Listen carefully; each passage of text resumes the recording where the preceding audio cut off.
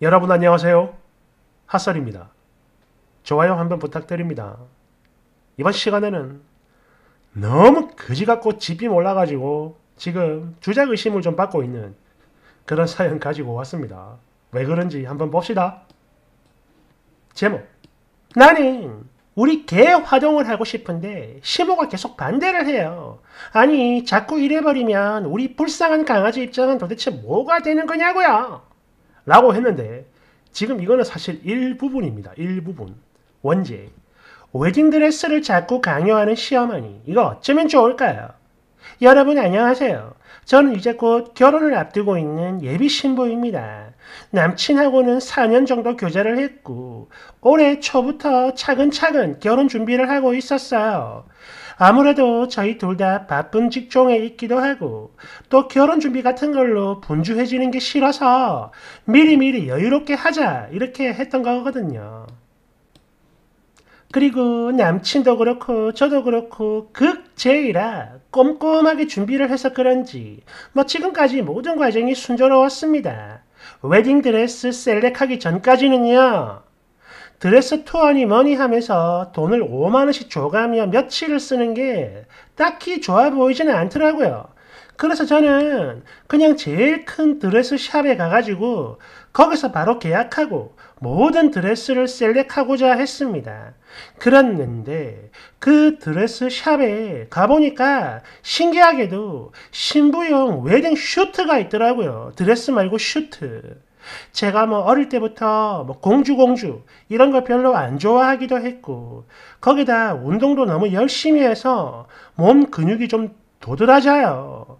그렇기 때문에 드레스 라인도 그렇게 예쁜 편이 아닙니다. 몸이 좀 커요.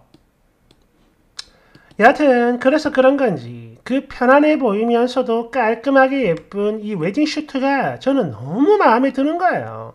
그랬는데 제목처럼 저희 예비 시어머니가 이거는 자꾸 안 된다고 웨딩드레스 입으라고 강요하는데 이걸 어쩌면 좋을까요? 일단 제가 본 건 이런 느낌입니다. 이런 거라고 합니다. 요즘은 이런 걸 입고 결혼식 하고 그러나 봐요.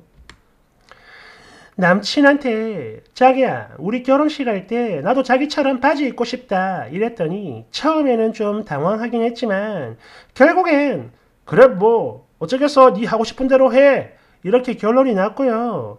그래서 드레스 샵에서 세 벌은 슈트로 입어보고 두 벌은 그냥 평범한 벨라인 드레스를 입어봤습니다. 사진도 다 찍어놨는데요. 남친이 그 사진을 저한테 말 한마디 안 하고 예비 시어머니한테 다 보여드린 거예요. 남친은 뭐 여기서 어떤 특별한 뭐 즉 반대하는 다른 의도가 있는 게 아니라 요즘엔 신부용 웨딩 슈트도 있다. 너무 신기하다. 그저 이런 순수한 의미로 보여드린 거라고는 하는데요. 여하튼 나중에 어머님을 뵈었을 때 어머님이 이 이야기를 꺼내는 거예요. 그러더니 아니 너 참 이상하다. 왜 결혼식에서 치마를 안 입고 굳이 바지를 입으려고 하냐? 이러더니 그 벨라인 드레스 이쁘다고 그 반드시 그 둘 중에 하나를 고르라며 엄포를 놔버리는 거예요. 뭐 가족들, 친척들, 그리고 자기 지인들 앞에서 이상한 며느리 들였다. 이런 소리는 절대 듣기 싫다. 이러면서 말이에요. 그리고 화동 대신 제가 키우는 우리 강아지가 하기로 한 것도 별로 안 좋아하더니 아니 그걸 그렇게 반대해버리면 그런 불쌍한 우리 강아지 입장은 도대체 뭐가 되는 거야 하기로 했는데 또 반대를 했다 이거죠. 거기다 이제는 제가 입을 옷까지 이렇게 대놓고 간섭질을 해대니까 제 기분이 너무 거지 같고 안 좋다 이거예요. 원활한 결혼 준비 과정에 이렇게 시어머니만 끼면 매번 이상하게 딱딱 막히는 기분이랄까요? 그지 같아. 아니 결혼이 뭐예요? 우리 두 사람만의 이벤트니까 우리 둘이 알아서 할게요. 이렇게 시원하게 말을 하고 싶은데 그게 또 쉽지가 않아요. 코르셋 꽉 조인 그 불편한 드레스 저 정말 입기 싫은데 이걸 어쩌면 좋을까요? 조금 더 있습니다. 댓글 1번 예? 개 입장이요. 그냥 지나가겠습니다. 끌끌. 되겠으니? 아니 그게 왜요? 인스타에 보면 결혼식에서 강아지들 입장하는 거 자주 올라오던데요 뭐. 그리고 하객들 반응도 되게 좋은데 왜 이런 말을 하세요? 2번 쓰니야 아니 그럼 거기서 박수치고 귀엽다라고 해주지 이게 뭔 개판이야 정신없다 그지같다 별로다 이런 말 하겠니? 제발 어린아이도 아니고 인스타 좀 믿지 마세요 3번 진짜 개 입장 보고 내가 심으면 결혼 뜯어 말릴 거요. 드레스까지는 괜찮다 생각했는데 개까지? 어이구 절대 평범한 사람은 아니구나라는 게 딱 느껴지네. 현명한 어머니라면 아들을 살리기 위해서라도 반드시 이 결혼 뜯어 말릴 거다. 깔깔깔깔. 4번 화동이란 게 이거 완전 복불복이에요. 그리고 깔끔하게 성공한 사례들이나 인스타 같은 데 올라오는 거지. 현실은 시궁창이야. 통제 하나도 안 돼가지고 갑분사 되는 게 훨씬 더 많다고. 에요. 5번 그렇게 무조건 네가 하고 싶은 대로 다 하고 싶으면 하게 초대도 안 하면 되는 거야. 솔직히 너 사람이란 개도 구분 못하는 초얼근이 같다고. 진짜로. 아니 개털 알레르기 있는 사람들은 도대체 무슨 죄야? 너 그거 청첩장에다 썼냐? 개 화동하겠다는 거 말이야. 그걸 정확히 써놔야 보고 알아서 거르기라도 하지. 안 그래? 6번. 에, 있으니 개 입장 교묘하게 말 바꾼 거 보소. 그지 같네. 그래, 그래, 그래. 2번. 이거 주작이죠? 아니라면 쓰니가 입은 걸 한번 올려보세요. 일단 사진 퍼오는 건 누구나 다 합니다. 개나 소나. 되겠으니? 아니, 제 사진 올렸다가 누군가 알아보면 어쩌려고요? 네가 책임질 거예요? 주작 같으면 그냥 신경 끄고 조용히 갈 길이나 가세요. 2번. 아니, 얼굴 다 가리고 올리는 건데 그걸 누가 알아봐요? 난 그게 더 궁금한데. 그리고 코르셋 이 말도 너무 갔다. 도대체 이게 언제적 이야기야 이 코르셋이. 되겠으니? 어머, 웨딩 드레스 안 입어보셨나 봅니다. 코르셋 없는 드레스가 어딨어요. 아주 그냥 꽉꽉 조이죠. 거기다 저는요, 운동도 많이 한 체형이라 가슴 근육이라 아니 그냥 상체 자체가 많이 발달돼 있어가지고 드레스 같은 거 입으면 남자가 입은 것처럼 완전 별로라고요. 네가 뭘 한다고 네가. 3번. 저 입어봤어요. 그리고 코르셋 따위 전혀 없었고 이거는 내 주변 친구들 언니들 전부 다 마찬가지야. 코르셋이 어딨어? 4번 나도 결혼 준비로 드레스 한 대여섯 군데 투어 해봤는데 코르셋? 이건 아예 뜯어보도 못했어요. 그런 거 없어요 요즘에. 옛날에도 없었어. 5번 상체가 너무 발달해가지고 드레스를 입으면 남자가 입은 느낌으로 보일 것 같다고? 그럼 수트는 더 아닌가 아닌가? 수트 입으면 신랑보다 더 떡대가 커가지고 건장해 보일 것 같은데? 그러면 그게 훨씬 더 우스꽝스럽지 않나? 깔깔깔깔깔. 6번. 이 쓰니 설마 드레스 끈 가봉이 몸 꽉꽉 조이는 코르셋이다 이렇게 생각을 하는 건가? 그리고 그 정도 떡대면 웨딩 수트를 입어도 마찬가지야. 유도 도복처럼 보일 텐데 그딴 게 이쁠 리가 있겠냐. 3번. 쓰니 본인 결혼식이니 시어머니는 그런 말 할 권리 하나도 없다는 게 내 생각이야. 그래요. 다만 내가 시모라면 그냥 이 결혼 자체를 결사반대할 겁니다. 아니면 일가 친척들 아무도 결혼식에 못 들어오게 막아버리든지 여하튼 이 며느리는 내가 봤을 때 머리가 좀 돌아버린 것 같아요. 되겠고요. 그렇죠. 이게 맞죠. 그 거지 같은 꼴에 개 화동까지 하겠다고. 집안에 미친 여자 하나 들이는 거 온 사방천지 광고하는 꼴하지야. 깔깔깔깔. 2번.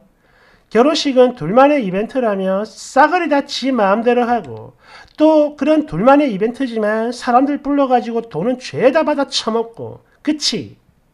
4번. 개 화동 때문에 주작이라는 사람들 좀 보이는데 아니에요. 나는 그 거지 같은 꼴을 찍어냈거든.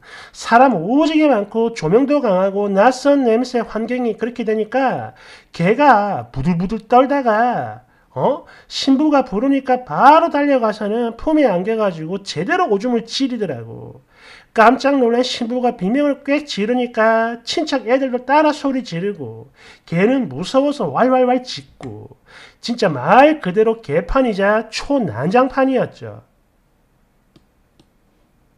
특히 그 꼴을 보고 시몬은 완전 열받았는지 자기 아들한테 저렇게 화동을 걔한테 시키는 미친 거랑 꾸역꾸역 결혼하겠다고 설치니까 이런 거지 같은 사달이 났다. 이렇게 소리를 질렀고 여기서 신부는 울던 와중에 지금 우리 꽁꽁이한테 개시키라고 욕을 했냐며 같이 소리 지르고 결국 집안 싸움이 터졌는데 이 모든 게 10분도 채 안 된 시간에 일어난 일이에요. 어마어마했지. 대댓글. 이야 이 정도면 축의금이 안 아까울 지경인데 재밌는 구경했구만. 끌끌끌끌. 5번. 아니 너 지금 둘만의 이벤트라고 했나요? 그럼 부모 입장에선 잘 키운 내 자식 자랑도 하고 인정도 받고 사회적 평가도 받는 중요한 자리인데 아니 너 설마 부모를 혼주라고 부르는 이유도 모르는 건가요? 그렇죠. 부모가 혼주죠. 결혼 주인. 6번. 나는 솔직히 드레스 대신 바지도 그렇고 개도 그렇고 아무 상관없는데 저 거지 같은 마인드가 진짜 너무 싫다. 아니 결혼이 니네, 니네들 둘만의 이벤트라면 하객들 아무도 부르지 마요. 그냥 니네 둘만 물 딱 떠놓고 결혼식 올리라고. 7번. 내가 보통 1년에 한 6번에서 많게는 7번 정도 다니는 프로 하객인데 아주 간혹 수트를 입었던 신부들이 있긴 했습니다. 근데 농담 아니고 하나같이 안 이뻤어. 입는 거야 물론 본인 마음이겠지만 진짜 거지 같더라 이거지. 어? 아니 그리고 화려한 드레스를 또 언제 입어보겠냐고. 네가 재벌이요? 아니면 뭐 상류층이요? 그것도 아니면 연예인이냐? 예쁜 드레스 입고 파티 다닐 팔자도 아니면서 평생 딱 하루 한 번인 그 자리에서 어? 평상시에도 얼마든지 입을 수 있는 옷을 고르는 게 나는 도무지 이해가 안 되네. 왜 그러는 걸까? 8번. 그럼 반대로 신랑이 드레스 입겠다 하면 너도 쿨하게 허락할 거지. 너희 부모님도 마찬가지고. 맞지? 9번. 그래. 이왕 뭐 마음대로 하는 거 시어머니도 화끈하게 어우동 환복 입고 장구 치고 하면 완전 기깔 나겠네. 대박 나겠어. 끌끌끌.